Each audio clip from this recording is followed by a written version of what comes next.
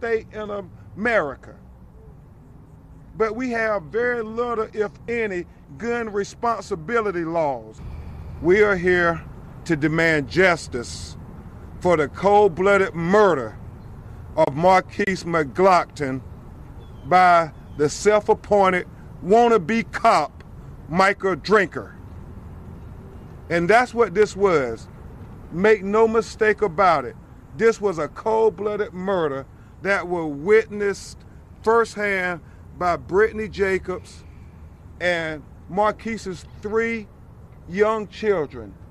Markeis Jr., who was five years old, Marley, his daughter, who was three years old, and Marshawn, his four month old baby. They all saw it firsthand, and for the rest of their lives, they're going to have to deal with this unbelievable traumatic episode of seeing their father gunned down in cold blood. This follows a long line of these alleged stand your ground murderers in the state of Florida. We know when we were all introduced to this stand your ground law with Trayvon Martin in Sanford, Florida. And then you had Corey Jones in West Palm Beach, Florida. Amen. And now you have Markeis McGlockton here in Pinellas County, Florida, where the individual is the initial aggressor, starts the confrontation, and then kills the unarmed black person and claims it's self defense.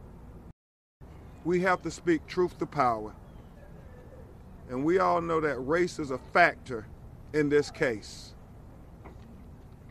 And just imagine if the roles were reversed and you had a black man approach a white woman sitting in the car with her two white toddler children in the back seat.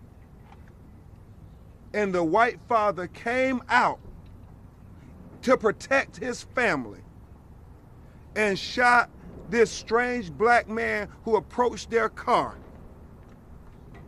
Does anyone doubt that he would have been arrested and taken to jail if he would not have been shot right there in the parking lot?